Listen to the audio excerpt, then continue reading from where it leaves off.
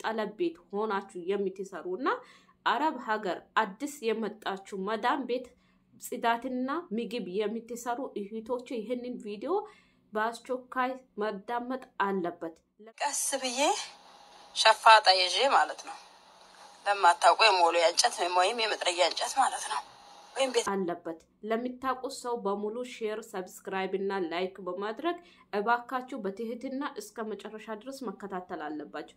ዛሬ በእህታችን የደረሰው ነገር በእናንተ ላይ እንዳይደርስ እባካችሁ እራሳችሁን ጠብቁ። አዲስ ሆናችሁ ከመጣችሁ ለመስራት እየተሯሯጣችሁ የሚገጥማችሁን ነገር አታቁ። ራሳችሁን ሴታችሁ ነው ስራ የምትሰሩት። ተረጋጉ፣ ቀስ በሉ። የቱም አይሄዱም ስትባሉ አሰሙ። ራሳችሁን ለበሽታ ትዳርጋላችሁ። ያለ ጊዜ በቃ እናንተ የማትፈልጉት ነገር ይደርስባችኋል። ለምንድን ነው እናንተ ብልጥ ማትሆኑት? ለምንድን ነው ጀግና ማት ለምንድን ነው ብልጥ ነኝ እያላችሁ የምትሸወዱበት ምክንያት ምንድን ነው? ጠንከሩ በሉ እንደማንም ሰው በቃ ራሳችሁን ከእንደዚህ አይነት ነገር ለመጠበቅ መረጋጋት አለባችሁ። ስራ ወዴቱም አይሄዱም። ረጋ በሉ፣ ተረጋጉ። በቃ ከፈለጉ ያውጣችሁ፣ ከፈለጉ የቱም ይወስድ። በቃ እናንተ ራሳችሁን ጠብቁ። እንዴ ይሄ ምንድን ነው? ወላሂ እህታችን የደረሰባት ነገር በጣም የሚያሳስብና የሚያሳዝን ነው። እባካችሁ እስኪ ከራሷ አንደበት ይህንን ቪዲዮ አዳምጡት። እውነት እኔ ቃላት የለኝም። እኔ እንጃ ምን ማለት እንዳለብኝ ምን ማውራት እንዳለብኝ ሁሉ አላውቅም በፍጹም። ዛሬ መጋኛ መታኝ። መጋኛ ወይ ጅኒ ማለት ነው። ሽንት ቤት ሽንት ቤት የሴትዮዋ ሳይሆን ሳሎን የመጅሊስ ሽንት ቤት የሚባል ሽንት ቤት ልብስ እያጠብኩ ቤት እያጸደው ቆይቼ የእኔ የሽንት ቤት የመብራት ተበላሽቶ ሰሪ ይመጣል። ሰሪ ይመጣና መሰላል አምጪልኝ ይለኛል ከፎቅ እላይ የሮጥኩኝ ሂጄ ያን መሰላል ይዤ ወረድኩኝ። ሞት በሰከንድ ወይም paralyzed መሆን በሰከንድ እንዳለ እንዲታወቅ ነው ይችን ቪዲዮ የምሰራው። ከዛ ያንን መሰላል ከላይ ይዤ መጥቼ በር ላይ ያርጌለት መብራት ለሚሰራው ያቋረጥኩትን ስራዬን ለመጨረስ የመጅሊሱ ሽንት ቤት ገባው ማለት ነው። ልክ እንደገባው ቀጥታ ቡሩሽ ይዤ ዲቶል ምናምን አድርጌበት ነበር የወጣሁት እና ቡሩሽ ይዤ ለማጥታት ቡሩሹን እንደዚህ ወደ ሽንት ቤት እንደዚህ ሳደርግ ማለት ነው። እንደ ቢላ ማለት ነው። እንደ ቢላ ምን ልበላችሁ፣ ደምጋናችን ደምጋናችን ከወገባችን በታች ከመቀመጫችን ከፍ ብሎ እንደዚህ ወጋኝ፣ እንደዚህ ወጋኝ። ተንበረከኩኝ። በቃ እዛው ላይ። ተንበርከኬ ቀስ ብዬ ሸፋጣ ይዤ ማለት ነው። ለማታውቁ የሞሉያ እንጨት ወይም የመጥረጊያ እንጨት ማለት ነው ወይም ቤት የምናጥ አሁን እዩት፣ እንዴት እንዴት ብዬ እንደ እግሬን አሰሬው ማለት ነው። እግሬን አሰሬ የራሴን ትንሽ ሕክምና እያረኩኝ ሙቅ ውሃ ይዤ ጀርባዬ ላይ ግን መንቀሳቀስ ድንገት ከመሞት ድንገት ከመበላሸት ፈጣሪ ይጠብቀን። ሙቅ ውሃ እንደዚህ ይዤበታለሁ። ምንም ለውጥ የለም። ቁሜ እስከምቆም ችግር ነው። ጫማዬን ተጎንብሼ ማድረግ አልችልም።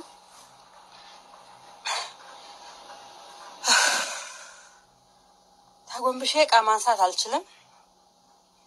በግድ ከቆምኩ በኋላ ግን ቁሜ መሄድ እችላለሁ። በግራ ጎኔ ብቻ የግራ እግሬን ስሜት አለው እና ፊኛዬን straight በወጋኝ በወጋኝ straight ፊኛዬንና ደምጋኔን ዲስክ የምንለውን ማለት ነው። እንደዚህ አጠጋግቶ ይዞኛል። ጸልዩልኝ።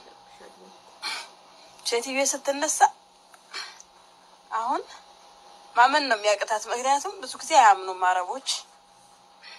እኔ ግን አሁን እዩት፣ እግሬን ያስላቃተኝ እግሬን ካልጋ ጋራ እንደዚህ ያስንትን ያልኩት ቦታው ላይ ህመሙ ላይ ውሃም ለማድረግ ነው። በዚህ ላይ ደግሞ መነሳቱ ችግር ሆነ ማለት ነው። ወጥቶ ከመቅረት ድንገት ከመበላሸት እግዚአብሔር አምላክ ይጠብቀን። እናንተ በሰከንድ በሰከንድ በሰከንድ እንዳልሆንን መሆን እንችላለን። የእግዚአብሔር ጥበቃ ካልሆነ ካልየለ የሚያስተካክል ሰራተኛ ይመጣል።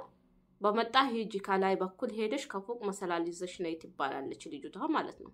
ይሄንን ከምትባል በፊት ከውጭ በኩል ያለውን ሽንት ቤት ለማጠብ ገብታ የሽንት ቤት ሳቡና፣ Dettol፣ Clorox አንድ ነገር አልቀራቱም ደፋፍታ ቲታ ወዴት ትሄዳለች? ይህንን እቃ ለማምጣት ወደ ፎቅ ትሄዳለች ማለት ነው። በሄደችበት ስትመለስ መጀመሪያ ደፍታ የተወችውን Clorox ሳቡና ይሄ ዲቶሉ ሚኑ ሽታው ጊሎ ተቀምጧል። ሽንት ቤቱ መጀመሪያ ለማጠብ እያዘጋጀች እያለች በደፋፈችበት የጀምጭ የተባለች የሮጠች ሄዳ የተባለችውን ይዛ መጣች። ከዛ እዛ ገብታ ሽንት ቤት ገብታ የጀመረችውን ለማጠብ እንግዲህ ማጠቧን ትቀጥላለች። በዛ ሰዓት ይሄ ሽታው የደፈችው የክሎሮክሱ፣ የሳቡናው፣ የዲቶሉ፣ የሚኑ ሽታው ግልት ያለው ውስጧን ገብቶ እፍን አደርጋታል። ምንም የሌለባት የማጸን ህመም ይሰማታል። ይሄው እንደዚህ የሆነን ለመዳን ቤት ስራ እየተሯሯጠን የያዝነውን ትተን ያላዝነውን ለመስራት እየሮጠን እንደዚህ አይነት ከባድ የህመም በሽተኛ ሆነን ሁላችንም እንቀመጣለን። በተለይ አዲስ ሆናችሁ አረብ ቤት የመጣችሁ አረብ ሀገር የመጣችሁ አዲስ ሆናችሁ መዳን ቤት ለመስራት የተቀጠራችሁ ይህ ቪዲዮ እናንተን ይመለከታችኋል። ምክንያቱም አንድ ስራ ሲሰሩ መጀመሪያ ሽታ ያለው ነገር ከሆነ እኔ ስራ እየሰራሁኝ ነው፣ ሂድ አምጣ፣ ሂጂ አምጪ ማለት አለባችሁ።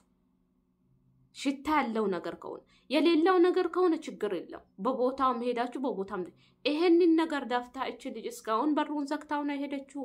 በተለይ ሽንት ቤት ስታጥቡ ሽታ ያለው ነገር ከደፋችሁ ከተጠቀማችሁ በሩን ክፈቱ። መስኮት ምናምን ካለ ከውስጥ ክፈቱ።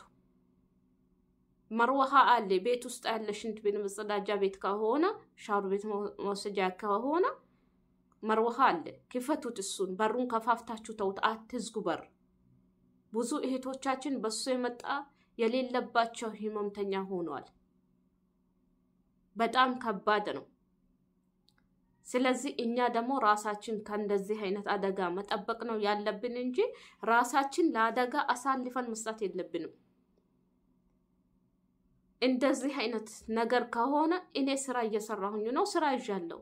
ለምሳሌ ላከኝ ያለችው እንደሷም እንዲያስተካክል ሊሰራ የመጣ ሰራተኛ ነው። ሂድ አምጣ፣ እኔ ስራ ይዣለሁ፣ እንዲህ እንዲህ አይነት ቦታ ነው ያለው።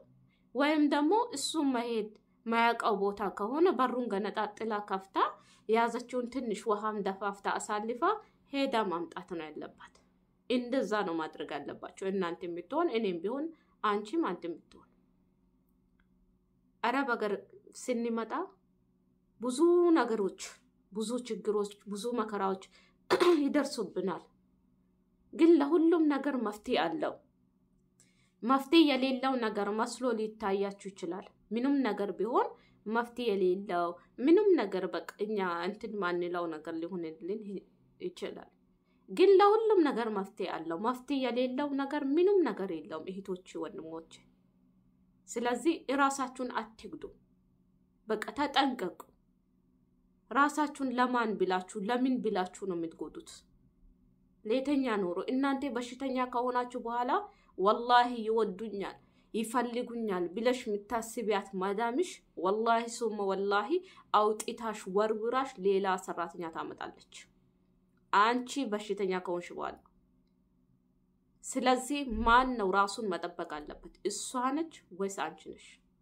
አንቺ ነሽ ራስሽን መጠበቅ። ራስን መጠበቅ ያለብኝ እኔና አንቺ ብቻ ነን፣ ማንም አይደለም። ስለዚህ እኛ መቼም ቢሆን ራሳችን ከእንደዚህ አይነት አደጋ መጠበቅ አለብን። አሳልፈን መስጣት የለብንም እና እባካችሁ ከአሁን ካልኳችሁ ነገር ሽንት ቤት የሚታጥቡ ቤት ስታጸዱ ተጠንቀቁ።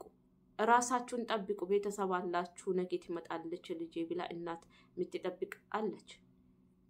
ለቤተሰቦቻችሁ ለሚወዳችሁ ልጆቻችሁ ሊኖር ይችላል። ራሳችሁን ጠብቁ። እኛ እዚህ ጋር ራሳችን ካልጠበቀን ማንም እኛን መጥቶ ሊጠብቀን አይችልም። ምንም ነገር የሚያምረው ምንም ነገር ሲኖር ደስ የሚለው የእኛ ጤና ሲኖረን ብቻ ነው። እኛ ስንኖር ብቻ ነው። ለፍተን ለፍተን ለፍተን ክሳራ መግባት የለብንም በምንም ነገር። እኛ ዛሬ ጤናችን ሊያዝ ይችላል፣ ነገ ግን የሚፈጠረው አይታወቁም።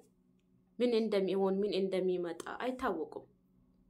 ስለዚህ እኛ በቻልነው አቅም ራሳችን ጠብቀን በሰላም ከሀገራችን እንደወጣን በሰላም ሀገራችን ተመልሰን ነው ወላሂ ላዚም ኢንሻአላህ አላህ ስብሓን ወተዓላ ያድርሰን። ነገ የሆነች ልጅ ያስተላለፈችልኝ ልብ የሚነካ ቪዲዮ አለ። እሱን ይሰራለሁ። እስኪ እቺ ልጅ ምን አይነት ሁኔታ ላይ እንዳለች ምን አይነት ሰው እንደገጠማት መስማት ትችላላችሁ ማለት ነው። እንደዚህ አይነት ቦታ ላይ ነው ምን ይኖረው። ግን ለራሳችን ብለን ጠንከር ብለን በቃ ነገ ሌላ ቀን ነው ብለን ራሳችን ያስተማመነን በቃ ባለን ነገር ደስተኛ ሆነን ተብቃክተን መኖር አለብን። ራሳችሁን አታስጨናንቁ። በቃ አትሯሯጡ። ይሄም ያም ቢጠራሽ አቤት ብለሽ መሮጥ፣ የህፃኑም ልጅ ሲጠራሽ አቤት ብለሽ መሮጥ። ለምንድን ነው የምትሮጪው? ለምንድን ነው ራስሽን የምታስጨናንቀው? አታስለምዱ። በቃ ስራችሁ የምትሰሩ ከሆነ ስራ ነው። እንዲ አሳፍርሻለሁ ካሉ አሳፍርን በሉ። እነሱ ላፋቸው የሚያስፈራሩት